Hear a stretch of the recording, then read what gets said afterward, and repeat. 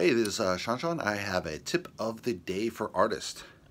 So one thing you can do when you post to Twitter um, is if you're using video from YouTube, you can share that straight to uh, Twitter and the Twitter option will just, it'll send it straight to Twitter, right? So that's kind of cool.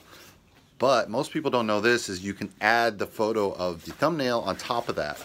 So once you share it from YouTube, well, first you take a screenshot of the photo off your phone, which is usually the um, option button on the iPhone plus I think the on and off button. So you do those simultaneous, that'll give you a screenshot and then you edit the photo down to the actual thumbnail and you know trim off those edges so you get a nice photo, save the photo, and then go on YouTube, share the video to um, scare, share it to Twitter, and then when you get there, you edit the text, whatever you want to do, and then add the photo. So that'll give you a nice way to make um, your video look stand out more on Twitter because if they're not a fan and they just scroll and see text, they're going to keep scrolling. So only your loyal fans will actually get those things and maybe click it.